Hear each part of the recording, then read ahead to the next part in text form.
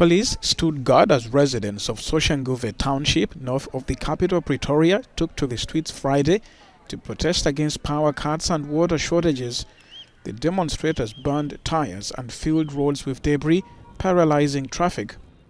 Our taps has run dry, we are not bathing, we are not like the schools uh, every, every time the, the, schools are going home, home early they are, they, they, now there is a lack of education because of this water. There is no water in the schools or in the clinic. We are, we are being sent back when we are going to clinic. If you've got something, there is no water. So this is a serious problem. Hence, we are doing this. It's not a, it's not a child's play. It's not. Water is life, and we've got the right to have water. South Africa has been crippled by record power cuts since last year, plunging the country into darkness. As a result, many pump stations and water treatment centers have stopped working.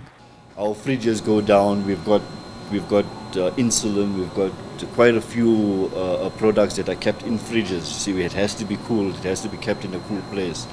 And with load shedding carrying on in this manner, we're losing a lot of stock as well. If it continues in this way, I don't see us surviving within the next two years.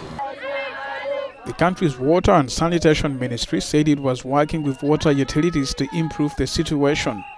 The problems have especially hit Johannesburg's Gauteng province, but not exclusively.